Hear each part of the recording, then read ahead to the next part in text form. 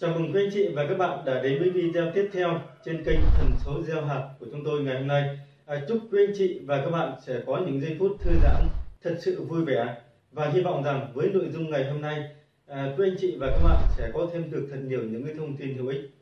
Và trong nội dung chính của video ngày hôm nay, xin mời quý anh chị và các bạn chúng ta sẽ cùng tìm hiểu về nội dung như sau.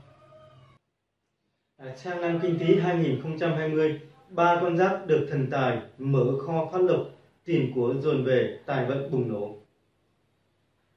Xem sách tử vi cho biết thì năm 2020 sẽ là cái thời điểm mà bùng nổ, tài vận của những con giáp có tên trong danh sách dưới đây. Và bây giờ chúng ta hãy cùng xem ừ, con giáp nào nhé.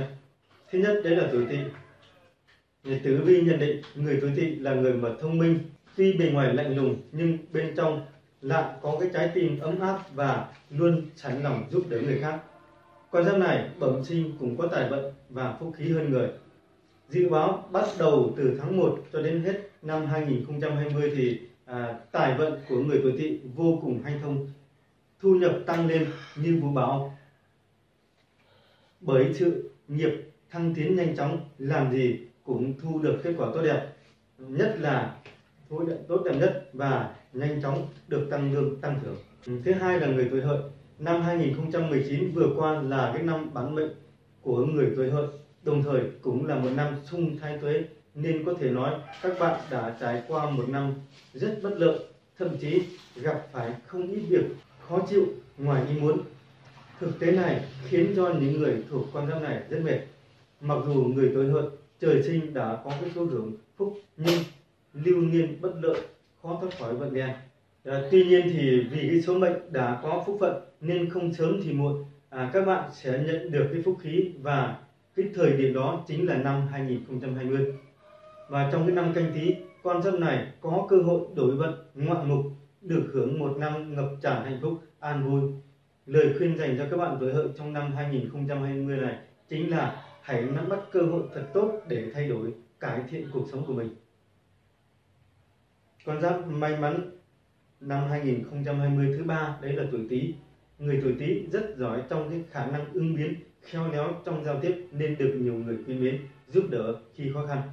Và bước sang năm 2020 này thì tuy bước vào năm tuổi nhưng người tuổi Tý cũng có được những cái cơ hội phát triển trong công việc nên tuổi Tý có thể tạo được đột phá trong sự nghiệp.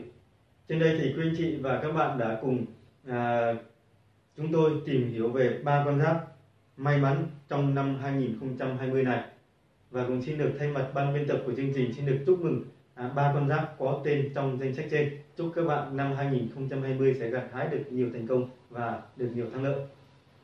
À, xin được cảm ơn quý anh chị và các bạn đã theo dõi video của chúng tôi. Nếu có bất kỳ băn khoăn hay thắc mắc gì à, xin quý anh chị hãy ghi rõ rồi để lại lời bình luận bên dưới của video. Ban biên tập sẽ phản hồi lại các bạn trong thời gian sớm nhất nếu các bạn là những người lần đầu tiên đến với kênh Thần số gieo hạt hoặc những ai còn chưa đăng ký kênh thì hãy hoan hỷ đăng ký kênh để ủng hộ ban biên tập của chương trình. À, sau đó hãy nhấn vào tín hiệu chuông bên dưới của chương trình để không bỏ lỡ những video hay nhất và mới nhất từ ban biên tập. À, chúc quý anh chị và các bạn có những ngày tháng luôn vui vẻ bình an và gặp nhiều may mắn. À, xin chào tạm biệt và hẹn gặp lại các bạn trong những nội dung tiếp theo của chúng tôi. À, xin chào.